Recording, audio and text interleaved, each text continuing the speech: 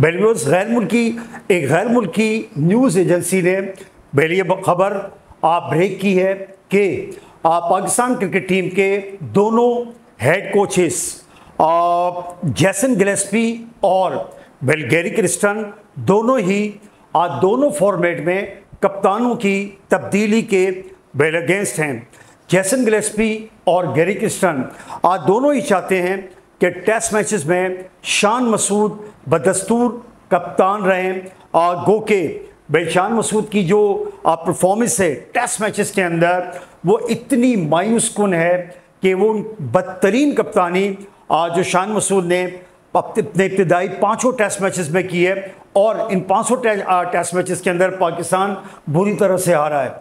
कौन भूल सकता है, बेशान मसूद की क़्यादत में आप अपने ही होम ग्राउंड के अंदर बिल बांग्लादेश जिस तरह पाकिस्तान को वाइट वॉश करके गया है ये ज़ख़म क्रिकेट फैंस के दिलों पर बिल अभी ताज़ा हैं।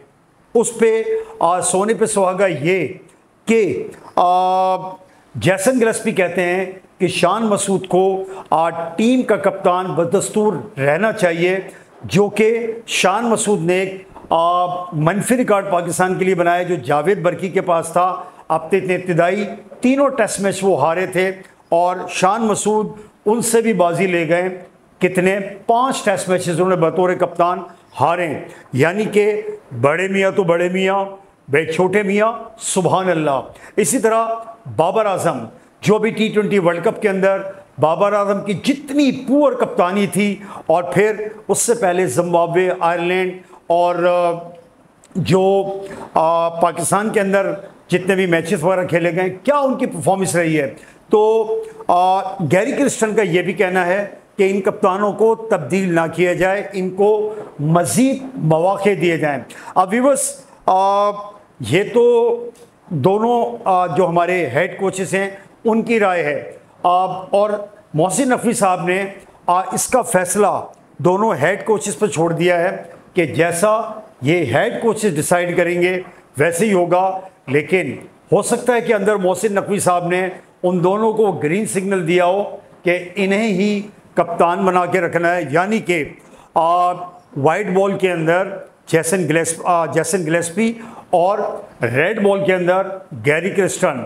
अब देखते हैं कि इंग्लैंड के ख़िलाफ़ जो सीरीज़ तीन टेस्ट मैचेस की अब शुरू होने जा रही है। अब से कुछ दिन बाद आ, किसके नाम क़ुर फॉल खुलता है कप्तानी का? बनते हैं मोहम्मद रिजवान या एक विंड फॉल यानी कि किस्मत खुलती है। और सरफराज अहमद की अगर वो टीम में कम बैक करते हैं या फिर शान मसूद ही आ, अपनी ये इस आ, जो बदतरीन हार की परफॉर्मेंस के इसको कंटिन्यू करेंगे या अगर उनको पीसीबी मौका देती है तो वो अपनी इस हार को आ, हार के इस ट्रैक को ब्रेक करने में कामयाब होते हैं और पाकिस्तान के लिए फतवात इकट्ठी करते हैं। बैल इकतदार आपको भी है मुझे भी है और यकीनन देखेंगे हम देखेंगे वह लाजिम है कि हम भी देखेंगे शान मसूद कैसी कप्तानी करते हैं क्या रिज़ल्ट आता है और फिर रेड बॉल के लिए भी पुर फाल बाबर के नाम खुलता है या फिर कोई और। बेल भी बस आप प्रोग्राम को साइन ऑफ़ करूँगा, आपसे मुलाकात होगी। बेल एक नए शो में कुछ और बेल क्रिकेट अपडेट के साथ। Well till that time bye